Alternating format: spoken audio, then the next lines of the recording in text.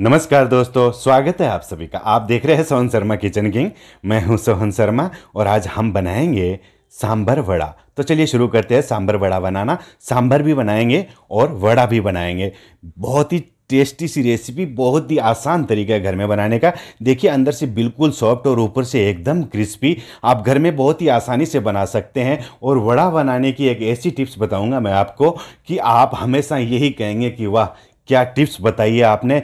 पहले क्यों नहीं बताई? पहले पता होता तो मैं इतनी माथा पोड़ी नहीं करती, इतनी आसानी से बड़े बन जाएँगे उस टिप्स से। तो आप वीडियो को शुरू से लेकर एंड तक ज़रूर देखिए। पहली बार चैनल देख रहे हो, चैनल को सब्सक्राइब कर लीजिए। वीडियो पसंद आए तो प्लीज़ वीडियो को लाइक, शेयर ज़रूर करें। तो चलिए शुरू करते हैं। ये मैंने सबसे पहले दो बॉल लिए और ये आधा कप मैंने हरहर की दाल ली है। तुअर की दाल भी कहते हैं इसे।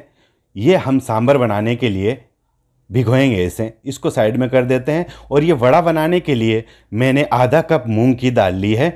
मूंग की दाल से ये है और आधा कप मैं उड़द की दाल ले रहा हूँ। दोनों बराबर ले रहा हूँ, एक कप हो गई दोनों मिला के। मूँग की दाल से ये जो वड़े हैं ना, बिल्कुल भी तेल नहीं पिएँगे और एकदम क्रिस्पी और टेस्टी होंगे। इन्हें अच्छे से वॉश कर लेता हूँ मैं तीन चार बार पानी से। बहुत ही बढ़िया से वॉश करनी है। मैंने अच्छे से वॉश कर लिया इनको और अब अच्छी तरीके से 700 सौ एम एल, आठ इस तरीके से पानी डाल के इन्हें भिगो देता हूँ। दो घंटे के लिए वैसे आप छः घंटे भी भिगो सकते हो। सुबह नाश्ते में बनाना है तो आप रात को भिगो दीजिए, सुबह बना लीजिए, कोई दिक्कत नहीं है। तो दालों को मैंने अच्छी तरीके से भिगो दिया है। और ये दो घंटे बाद अच्छी तरीके से भीग चुकी है बिल्कुल। वड़ा की दाल भी भीग चुकी है और ये सांभर की दाल भी बिल्कुल भीग चुकी है। इनका पानी बिल्कुल हटा देना है अब। दोनों दालों का पानी मैंने बिल्कुल हटा दिया है। और अब हम सांभर को एक प्रेशर कुकर के अंदर चढ़ा देते हैं सांभर की दाल को। ये जो दाल है सांभर वाली भिगोई हुई अरेर की, उसको मैंने प्रेशर कुकर के अंदर डाल लिया है बिना पानी के और अब मैं इसके अंदर दो कप और आधा कप पानी डाल रहा हूँ। हमें पतली दाल चाहिए सांभर के लिए तो दो कप और आधा कप पानी डाल के और इस दाल के अंदर मैं आधा छोटी चम्मच नमक डाल के इसे ढक्कन लगा के गैस पे चढ़ा देता हूँ। तेज आँच गैस पे हमें तीन से चार सीटी कुकर के अंदर लेनी है। तो चलिए गैस को तेज आँच पे मैंने जला दिया है, कुकर को गैस पे चढ़ा दिया दिया है, तीन चार सीटी ले लेते हैं और अब हम सांभर की तैयारी कर लेते हैं। ये 20 ग्राम मैंने इमली भिगोई है, आधा कप पानी के अंदर ये भीग जाएगी, पाँच छः मिनट इसे भीगने देते हैं। जब तक हम सांभर की सब्जियों की तैयारी कर लेते हैं। तो चलिए सांभर की सब्जियों की तैयारी कर लेते हैं हम। ये मैंने सांभर की सब्जियों के लिए सबसे पहले लौकी लिए, मैंने 250 ग्राम, इसको मैंने छील लिया है, घिया भी कहते हैं, दो प्याज लिए है और दो टमाटर लिए और एक हरी मिर्ची ली है। और आप सब्ज़ियाँ अपनी पसंद से ले सकते हैं। देखिए प्रेशर कुकर के अंदर तीन चार सीटी ले लेते हैं और गैस से हटा के इसको साइड में रख देते हैं। बाद में हम दाल बनाएँगे तो काम में लेंगे। सांबर बना लेते, गैस जला लिया है मीडियम तेज़ आँच पे और मैंने उस पर कढ़ाई चढ़ाई है। कढ़ाई के अंदर मैं दो बड़े चम्मच तेल डाल रहा हूँ और ये मैंने तड़के के लिए चौथाई चम्मच दाना मेथी, आधा चम्मच उड़द की दाल और दस कड़ी के पत्ते और दो साबुत लाल मिर्ची। दाना मेथी सबसे पहले चौथाई चम्मच मैं डाल देता हूँ, तेल गर्म हो गया है और उसके बाद उड़द की दाल भी आधा चम्मच छोटी वाली मैं तेल के अंदर डाल देता हूँ। थोड़ा सा चलाते हैं इन्हें, क्योंकि इन्हें हल्का ब्राउन करना है हमें। और अब मैं इसके अंदर आधा चम्मच राई डाल रहा हूँ तड़के के लिए। राई जैसे तड़तड़ा जाती है, हमारे पास जो दो सूखी मिर्ची थी, लाल वाली, वो मैं डाल देता हूँ। थोड़ा सा लाल मिर्ची को चलाता हूँ, इसकी खुशबू जो है ना, बहुत अच्छी आती है। इससे सांभर जैसी खुशबू आती है इस तड़के से। और अब दस पंद्रह मैंने कड़ी पत्ते डाल दिए। कड़ी पत्ते आप दूर से डालिए, थोड़े साइड में रहिए, तड़तड़ाते हैं। आधा छोट, एक चम्मच मैंने बारीक कटी हरी मिर्ची डाल दी। और ये दो हमारे पास जो प्याज थे उनको मैंने थोड़ा बड़े बड़े पीसेस में काट के डाला है ताकि सांभर के अंदर हमें अच्छा लगे। इन्हें हम एक से डेढ़ मिनट तक इस तरीके से पकाएँगे, ज़्यादा हमें ब्राउन नहीं करना है, इनका सिर्फ़ कच्चापन हमें निकालना है। तो प्याज को हम डेढ़ मिनट तक इस तरीके से पका लेंगे, उसके बाद हमारे पास जो लौकी कटी हुई है, प्याज को डेढ़ मिनट पकाया, उसके बाद मैंने लौकी डाल दी है इसके अंदर और आधा चम्मच में नमक डाल रहा हूँ, आप स्वाद अनुसार लीजिए। और देखिए, लौकी को मैंने चौकोर पीस में काटा है छोटे छोटे चौकोर पीस काटे आप जैसे चाहे काट सकते हैं, आप सब्ज़ियाँ और भी इसके अंदर डाल सकते हैं। गैस को हम मीडियम आँच पर कर देते हैं और अब हम ढक्कन लगा के इसे तीन मिनट पकने के लिए रख देते हैं मीडियम आँच गैस पे। तीन मिनट, ये डेढ़ मिनट बाद में फिर से इसको एक बार चेक कर रहा हूँ, डेढ़ मिनट बाद, ताकि ये नीचे लग ना जाए। बिना पानी के हमें अच्छे से मीडियम आँच पे पकाना है, फिर से ढक्कन लगा देते हैं। ये लौकी को पकते हुए तीन मिनट हो चुके हैं, लौकी पक चुकी है। देख लेते हैं एक बार हम चेक करके, घिया पकना ज़रूरी होता है। और प्याज भी हमारे अच्छी तरीके से पक गए हैं। ये देखिए, घिया पक चुका है। तो अब हम इसके अंदर हमारे पास जो दो टमाटर थे, उसको मैंने बिल्कुल बारीक काट के डाल दिया है इसके अंदर। टमाटर को हम अच्छी तरीके से, इस तरीके से मिला देते हैं और अब हमारे पास जो मसाले हैं, सांभर के लिए वो डाल देते हैं। चौथाई छोटी चम्मच लाल मिर्ची डाल रहा हूँ और ये मैं दो छोटी चम्मच सांभर मसाला डाल रहा हूँ। आप जो भी सांभर मसाला यूज़ कर रहे हैं, जिस भी ब्रांड का, वो आप डाल दीजिए। दो छोटे चम्मच मैंने डाला है। अब मसाले को अच्छे से मिला लेते हैं।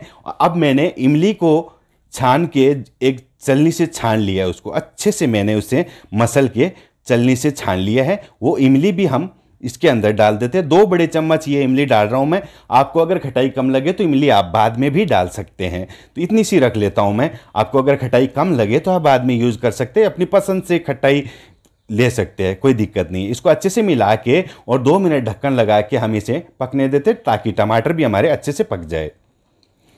दो मिनट पक जाने के बाद मैं इसे चेक कर रहा हूँ। तो देखिए, टमाटर बिल्कुल पक चुके हैं। एकदम मसाले की बहुत अच्छी सांभर की खुशबू आने लग गई है। मसाला भी पक गया है।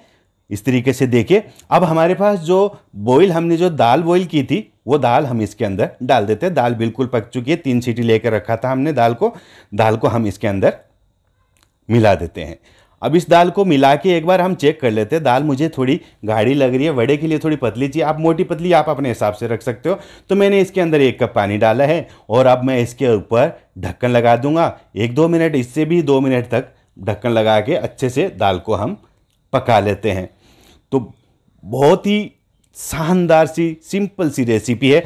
देखिए, दो मिनट बाद दाल बिल्कुल बॉईल हो चुकी है। आप अगर सब्ज़ियाँ इसके अंदर और डालना चाहते हैं तो आप डाल सकते हैं, बैंगन डाल सकते हैं, बीन्स डाल सकते हैं, गाजर डाल सकते हैं, लेकिन हमें ये सिंपल वाली ही दाल पसंद आती है, लेकिन होटल जैसा टेस्ट आता है, इसका बहुत ही शानदार टेस्ट आता है। हल्दी इसमें नहीं डालनी हल्दी डालोगे तो दाल का कलर पीला हो जाएगा। ये आपको पीला कलर इसलिए दिख रहा है कि थोड़ा लाइट का प्रॉब्लम है, इसलिए नहीं तो दाल ज़्यादा ऐसे पीली पीली सी नहीं है।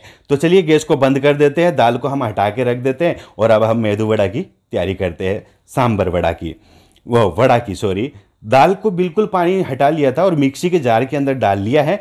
ध्यान रहे, आप हो सके तो दाल को बिना पानी के ही पीसे। मैंने दाल को पीस लिया है, इसके अंदर मैंने दो छोटे चम्मच पानी डाला। दो छोटे चम्मच, इससे ज़्यादा पानी आपको नहीं डालना है, नहीं तो पतली हो जाएगी तो वड़े बनाने में हमें आसानी नहीं रहेगी। हम, ये जो वड़े का डू है, मिक्सी से निकाल के हम एक बोल के अंदर डाल लेते हैं। अब इसको आपको क्या करना है, एक चम्मच की मदद से इसे चार पाँच मिनट इस राउंड राउंड चलाते हुए फेंटना है। अब ये दाल क्रीम कलर की दिखाई दे रही है ना आपको? क्रीम, ऐसे क्रीम कलर की जैसी। जब फेंटोगे आप, अच्छे से फिट जाएगी, देखिए। तो ये एकदम आपको कॉटन के जैसे लगेगी, एकदम सॉफ्ट वाइट हो जाएगी ये। ये बिल्कुल दाल फिट चुकी है। मैंने पाँच मिनट तक फेंटा है। आप रोक रोक के हाथ दर्द करने लग जाएगा लगातार तो। लेकिन हाथ को रोक रोक के आप इस तरीके से फेंटिए। अब मैं इसके अंदर आधा चम्मच नमक डाल रहा हूँ और एक चम्मच बारीक कटी हुई हरी मिर्ची डाल रहा हूँ, ज़्यादा मसाले नहीं डालने हमको। और ये दस कड़ी पत्ते जिनको मैंने बारीक काट लिए है, वो मैंने इसके अंदर डाल दिया। अब इसे अच्छे से मिला लेते हैं। मूंग की दाल और उड़द की दाल की जब ये हम सांभर बड़े, ये वड़े बनाएँगे ना तो बहुत ही टेस्टी भी बनते हैं, क्रिस्पी भी बनते हैं और तेल बिल्कुल नहीं पीते। अब मैंने गैस को जला लिया है, हाई फ्लेम पे, उस पर मैंने तेल चढ़ाया 250 ग्राम वड़े फ्राई करने के लिए। अब मैं आपको एक ट्रिक बताता हूँ। अब देखिए, मैंने एक बॉल के अंदर पानी डाला है और ये मैं पलटा लिए। पलटा जो होता है, हलवा वगैरह बनाते हैं, ये वाली। नहीं तो आप कोई ढक्कन वगैरह जो फ्लेट हो, ले सकते हो। इसको आपको पानी से ग्रीस करना है और पानी बिल्कुल इसके अंदर टपकना नहीं चाहिए, पानी को झाड़ लेना है। और जो चम्मच है, हम जिससे डू लेंगे, उसको भी आपको बार बार पानी से धोना है। अब देखिए, पलटे के ऊपर मैंने पानी लगा लिया है और बिल्कुल भी पानी टपक नहीं रहा है। और मैंने एक चम्मच से इसके पलटे के ऊपर, देखिए, साइड में देखिए, डू डाला है। जो वड़े का डू है, उसको डाला है और उसको मैंने अच्छे से हाथ में पानी लगा के उंगलियों के सेप दे दी है और बीच में देखिए, ऐसे छेद कर दिया है एक। अब हमें क्या करना है?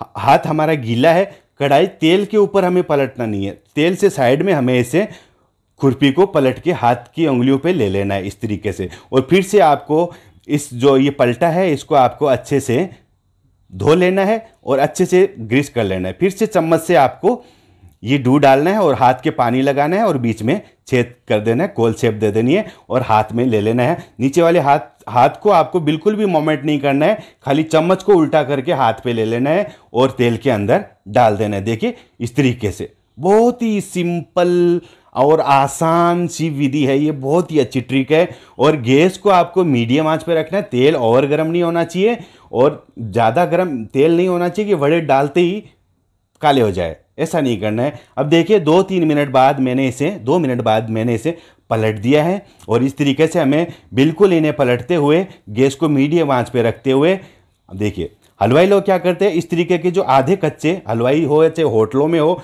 बहुत बड़े बड़े बनाते हैं और आधे कच्चे निकाल के रख लेते हैं। जब खाना होता है, तभी बनाते हैं। मैंने छोटे छोटे सुंदर सुंदर बनाए हैं।